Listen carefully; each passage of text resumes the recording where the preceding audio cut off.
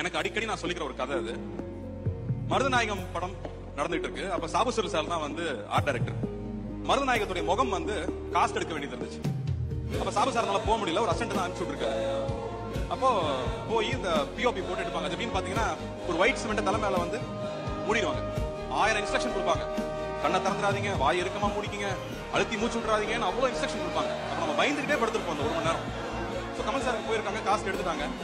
அடுத்த நாள் காலையில சாமி சார் கூப்பிட்டு இந்த காசு ரெடி ஆயிடுச்சு அந்த கோல்டு கொண்டு வாங்கன்னு சொல்லியிருக்காங்க அப்ப assistant director assistant art director போய் அதை வாங்கியிருக்காரு கடையில். அதை வாங்கி நேர்ல பார்த்தவரு நடுங்கி அழ ஆரம்பிச்சார் ஏன்னா அது மருதநாயகத்துடைய தலை துண்டிக்கப்பட்டதுக்கு அப்புறமா இருக்க வேண்டியது.